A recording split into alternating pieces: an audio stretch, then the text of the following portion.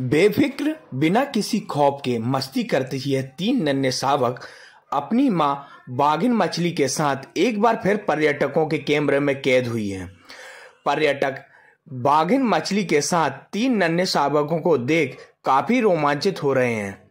दरअसल, यह खूबसूरत नज़ारा नर्मदापुरम ज़िले के सतपुरा टाइगर रिज़र्व के चूरना रेंज का बताया गया है। सतपुरा टाइगर रिज़र्व में बागिन मछली तीनों नन्हे शावकों के साथ इन दिनों जंगल सफारी पहुँच रहे पर्यटकों के आकर्षण का केंद्र बनी हुई है। इन नन्हे शावकों की उम्र महज चार माह बताई जा रही है तो वहीं माँ बागिन की उम्र साढ़े चार साल है।